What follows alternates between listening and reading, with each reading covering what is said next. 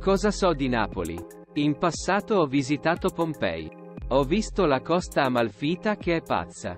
Non ho mai sparato a Napoli.